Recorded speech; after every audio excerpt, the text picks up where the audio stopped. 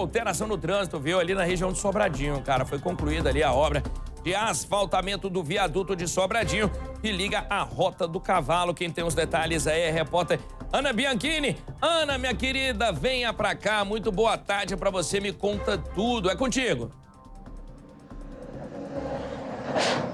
Ótima tarde para você, Fred. Boa tarde a todos que nos acompanham no Balanço Geral. Um dia muito esperado, né, Fred? Principalmente pelos motoristas que fazem esse caminho aqui todos os dias. E hoje, parte do trânsito aqui do viaduto de Sobradinho foi liberado, pelo menos para os motoristas que fazem sentido Planaltina, plano piloto. As duas faixas aqui já estão liberadas, o um movimento intenso de carros por aqui, inclusive todos os motoristas e principalmente caminhões, ó, aproveitando essa liberação para já usar a faixa nova. Fred, só nesse viaduto aqui, ó, com mais de um quilômetro de comprimento, foram investidos 33 milhões de reais. Agora já tem um ano e três meses desde o início das obras, que começaram em março do ano passado e finalmente hoje dia de inauguração, viu, Fred? Aqui ao meu lado eu estou com o Fauzi, que ele é justamente o presidente do DR. Essa obra está sendo realizada pelo DR e ele está aqui com a gente para falar um pouquinho mais sobre toda essa obra, como foi ao longo desses últimos anos aqui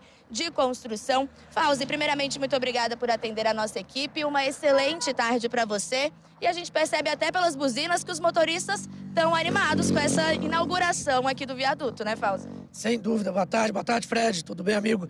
É, olha só, um dia muito feliz porque com essa alteração de hoje, a gente botando o trânsito no sentido Brasília, passando em cima já do viaduto novo, mais uma grande obra do DRDF, do governo Banês, que vai melhorar muito a vida das pessoas. A gente consegue liberar as obras na parte de baixo, que é o que falta, fazer o um encaixe Gente, olha só, caiu um pouquinho o nosso o nosso link ali, o nosso sinal. Pronto, pede pro Fausto falar de novo, por favor, Ana. Tinha caído aqui Essa o nosso obra. sinal. Combinado, Fred, combinado. Fausto, vamos falar mais uma vez que o pessoal perdeu o sinal lá no estúdio, só para o pessoal de casa entender. Ele estava falando aqui, Fred, reiterando, né, que a parte de baixo ainda não foi liberada, apenas a parte de cima aqui do viaduto, mas em breve vai ter essa liberação, né? Exatamente, só no sentido Brasília, inclusive, que está liberado o viaduto. Está muito bem sinalizado, a gente botou placas, botou painéis, inclusive. Ou seja, então, vamos frisar bem, Fred, aproveitar a sua audiência para o pessoal eh, ter essa prestação de serviço. Quem está vindo de Planaltina, chegando em Brasília, indo para Brasília, vai passar em cima do viaduto. Já está liberado. Só vai continuar na BR embaixo, quem quer entrar para Sobradinho e, obviamente, os ônibus, que os ônibus só tem parada lá embaixo.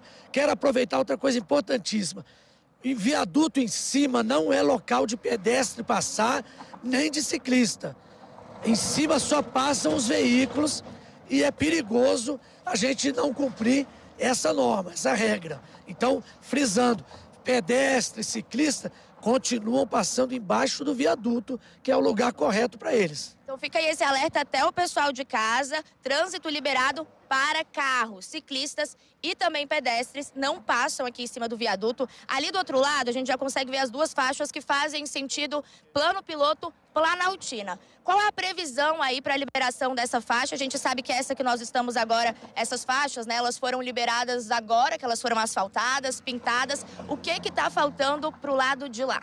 Olha, está faltando a gente concluir esse encaixe para Sobradinho, que a gente já começou a fazer, depois pode mostrar, inclusive, as máquinas já estão trabalhando.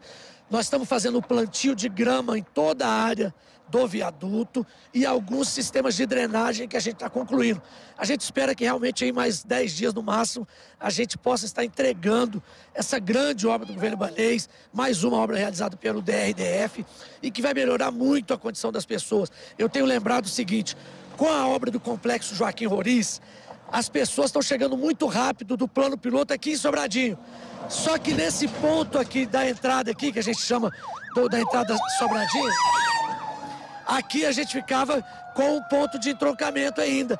Quando você libera esse viaduto, você já dá passagem livre e acaba com mais esse ponto de estrangulamento. Então, a vida das pessoas da região norte que está melhorando muito e com a terceira faixa que vai ser lançada nos próximos dias, o início de obras, as pessoas que moram em Planaltina, que moram em Brasilinha, Formosa, aí vão ficar com esse trânsito livre, desobstruído e com a fluidez maravilhosa. Perfeito, presidente. Muito obrigada pelas informações. Fred, então, trânsito liberado por aqui, um alívio aí para os motoristas que passam por esse trecho todos os dias, que agora vão ter mais essa mobilidade. Você passa muito por esse trecho aqui, Fred? Vai fazer diferença na sua vida aí?